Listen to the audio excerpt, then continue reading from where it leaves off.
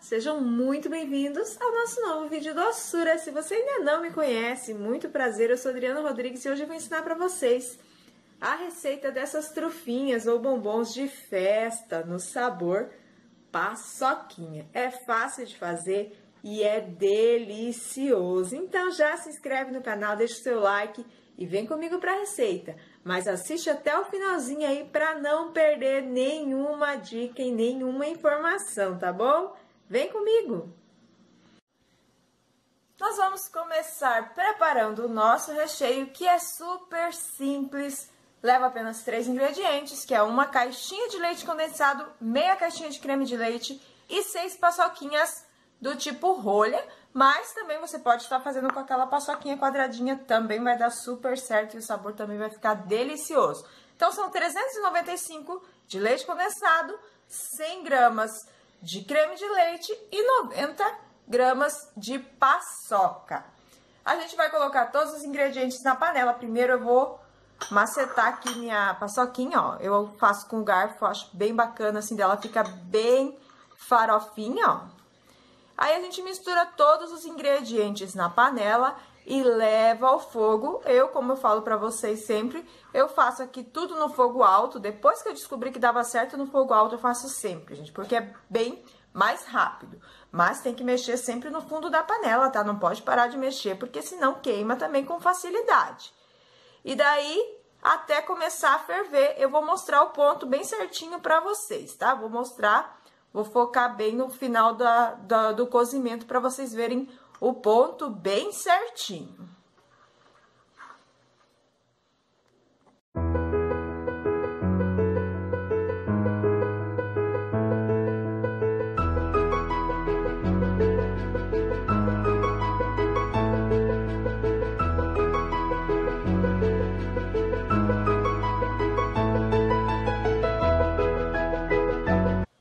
Olha só, pessoal, esse aqui já é o nosso ponto. Ele mal começa a ferver, daí ele fica uma textura bem boa pra gente poder tá aí fazendo o nosso bombom na forma insuflada. Então, aqui, ó, mal começa a ferver, você já desliga o fogo, tira da refratária e deixa esfriar. E assim que tiver frio, a gente volta pra montar os nossos bombons.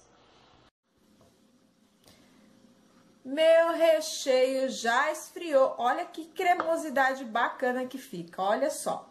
Nem mole demais, nem duro demais. Perfeito pra gente estar tá fazendo aí o nosso bombom, a nossa trufa ensuflada.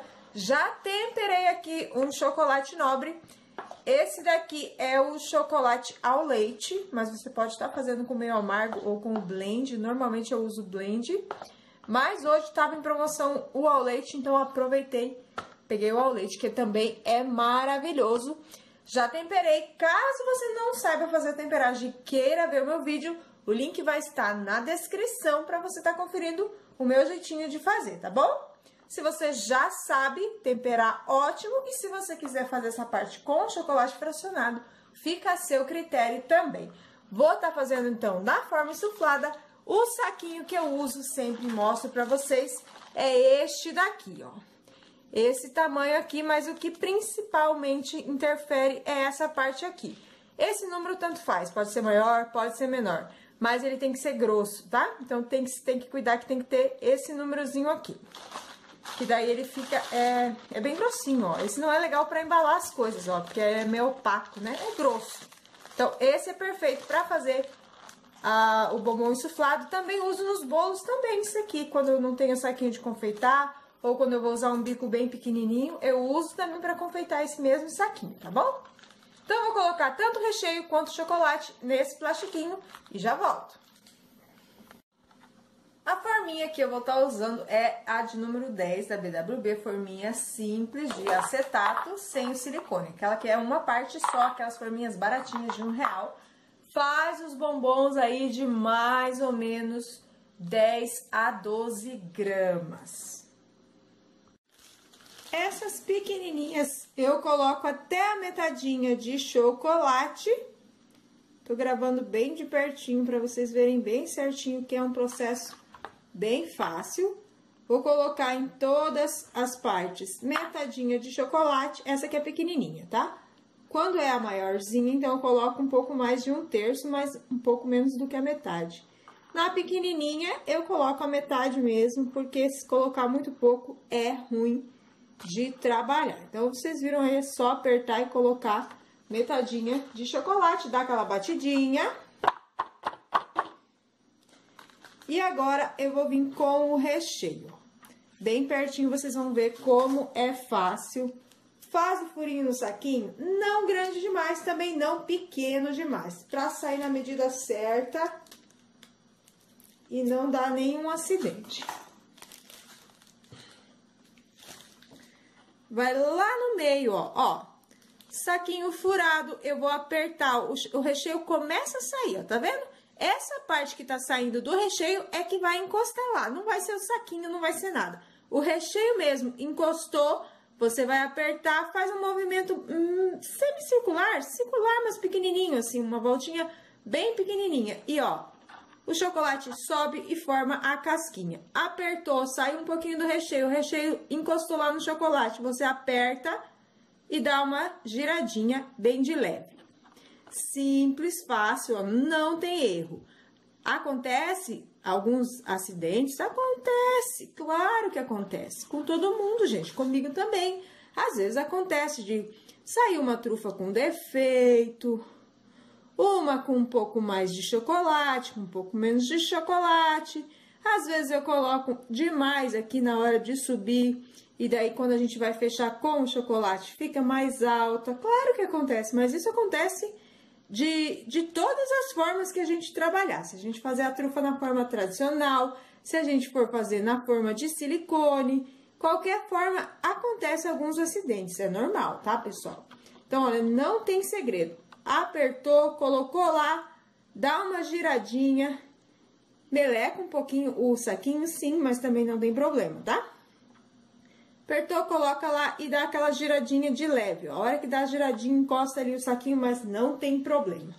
Aqui em cima a gente vem com o chocolate somente pra fechar. A imagem não tá muito boa porque tá muito pertinho, né? Mas eu quis gravar bem pertinho hoje para vocês conseguirem ver bem certinho mesmo. Ninguém pode dizer que eu não expliquei direitinho, né, pessoal? Ninguém fala isso. Graças a Deus o pessoal sempre gosta que eu explico bem. Às vezes falam que eu falo demais, né? Mas a gente fala bastante para poder explicar mesmo, para vocês conseguirem entender. Então é só fechar, ó. Passa o chocolate onde tem o recheio, fecha bem. Terminou de fechar, vai dar a batidinha de novo. Essa batidinha é importante. tirar a bolha de ar e também coloca o chocolate bem no lugarzinho certinho, daí se ele tiver meio torto, já vai ficar retinho. Esse aqui eu até fiz bastantinha rebarba, ó, mas normalmente quando a gente faz com essa técnica, fica até pouca rebarba, mas esse pouquinho também, a hora que a gente vai soltar da forminha, ele já vai quebrar automaticamente. Vou levar na geladeira uns 20 minutos, porque ela é toda maciça, apesar de que essa aqui não é muito grande, né? Mas aí você fica de olho, quando a forma ficar opaca, você já desenforma. Não pode deixar tempo demais na geladeira, tá bom? Então, assim que ficar bem opaca a parte de baixo, eu volto e mostro pra vocês. Já gelou, ficou bem opaca aqui a minha forminha, ó. Então, é só desenformar. Só soltar, dar uma apertadinha, né? E solta todas elas.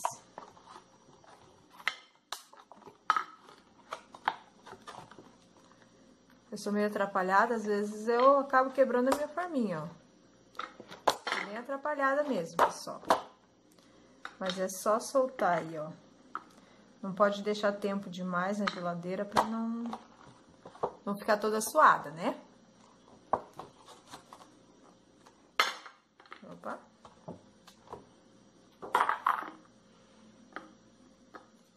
Ó, vocês podem ver que ficaram bem perfeitinhas, mas como eu falei, claro que às vezes pode acontecer dela acabar ficando furadinha, principalmente quando você está começando, até você pegar bem o jeito. Acontece, comigo às vezes acaba acontecendo também.